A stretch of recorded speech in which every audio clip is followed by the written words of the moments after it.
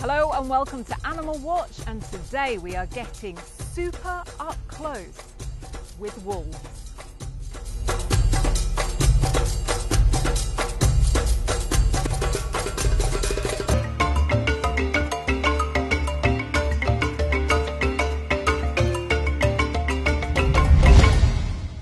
Well, I've been working with wolves for over 20 years now, and I've had some amazing, wonderful, privileged experiences.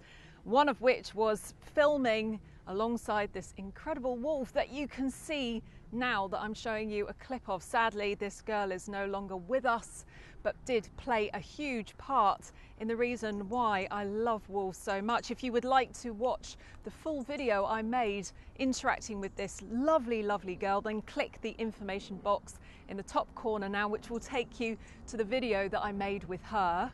I've also been privileged enough to film and work alongside the UK and the world's oldest wolf.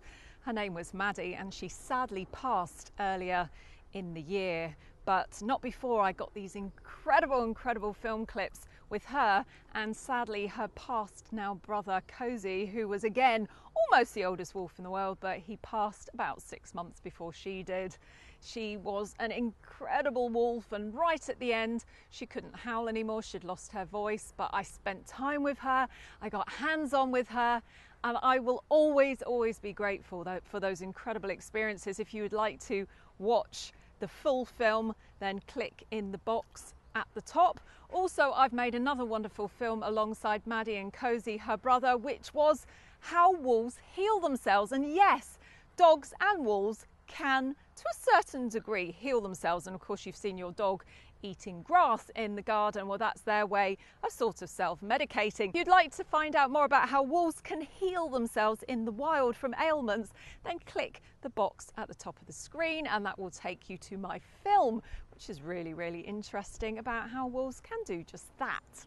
I will always be grateful for those wonderful experiences that I've had being up close with wolves. As we know in the wild, they are so timid that you will never, ever see one. I mean, you might see one in the distance, but it's very, very rare. They certainly don't chase you or hunt you down like all the stories. So the only way I've been able to get up close with them is with captive wolves. But I will always, always consider myself to be highly privileged and I will always, always be grateful for that. And um, yes, the wolf to me is like my, my spirit animal. And in many ways, I think I'm quite similar to a wolf I've been very, very privileged to have a wonderful relationship with the UK's most natural and wildest wolf reserve called Wolf Watch UK that is located in the Shropshire Hills. And I was asked to make them a wonderful trailer for their website. And that meant going down there and filming alongside their most beautiful wolf residences. And I got up very, very close to a North American timber wolf called Callow and we got some wonderful footage of her and also their European wolf Anya. We got some wonderful footage of her, of course. Anya is a classic example of the wolves that used to be in the United Kingdom, and also Sansa and Rickon, that were their newest residents. Again, European wolves. We managed to get some wonderful footage of them. So today I would like to show you the trailer that we filmed for Wolf Watch UK. Please enjoy.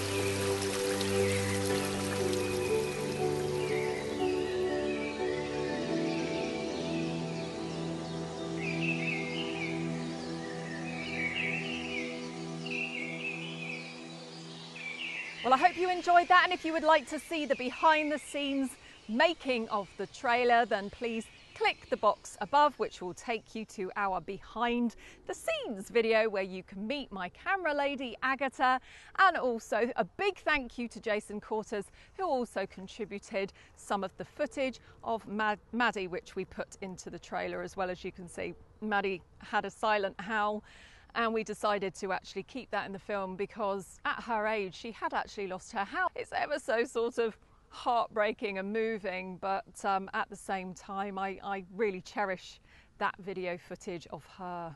Now it's very, very exciting because in the next couple of weeks I'll be bringing you a couple of episodes. On the first one is about rewilding the wolf to the United Kingdom. Yes, there's a big possibility it might be happening. The wolf might be returning to the Scottish Highlands in the United Kingdom. I'm a huge wolf re- rewilding fan, although I am worried that people will not care for the wolf properly when she is reintroduced to the United Kingdom. And I certainly don't want to see her being shot and persecuted, but I would very much like to see her back in the United Kingdom where she belongs. So, this episode, which is going to be coming out in the next couple of weeks, I'll be talking to um, rewilding expert George Monbiot, and we'll be discussing the real possibility of the good and bad points to what will happen when the wolf is brought back in the United Kingdom. Also, I've got a very, very exciting episode coming along. Wolf Watch UK has a new wolf. Yes, isn't that exciting? And I get to film close with this beautiful girl and I'm not going to tell you much about her right now, but you're going to find out in the next couple of weeks when I get hands on with this beautiful, beautiful lady.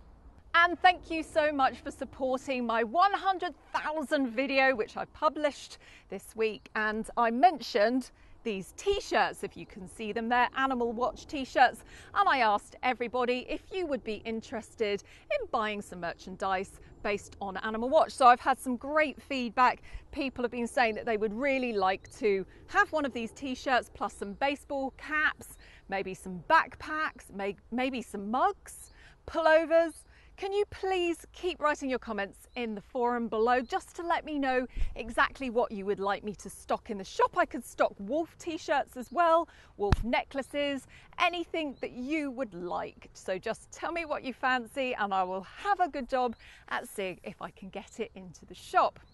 So if you enjoyed this video, then please give me a big thumbs up and subscribe to the channel by clicking that button in the box down there. And if you click the little alarm bell symbol, you will be notified every single time I make a new upload. And then you can watch it the day that it is out.